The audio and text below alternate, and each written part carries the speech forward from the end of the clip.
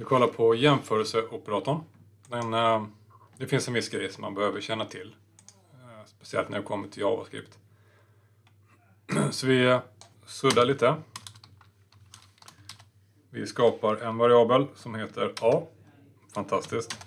Den kan vara strängen 12. Sen har vi B. Som kan vara siffran 12. Ofta när vi håller på med JavaScript så kanske vi hämtar från något som någon användare har skrivit eller något den har klickat på eller vad det nu kan vara. Vi vet inte alltid vad det är vi får, vilken datatyp. Är det en nummer, är det en sträng? Hur det kan vara. Och här, JavaScript försöker ju återigen hjälpa oss. Så om vi då skriver ut konsollog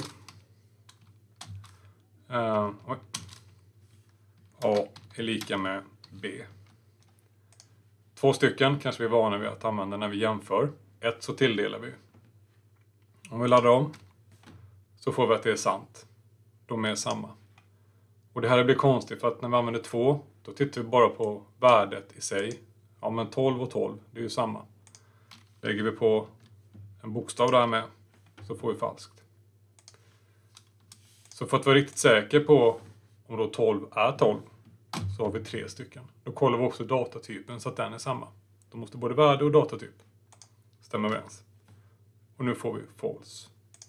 Och det stämmer ju, för att siffran 12 är ju inte samma som, som strängen 12.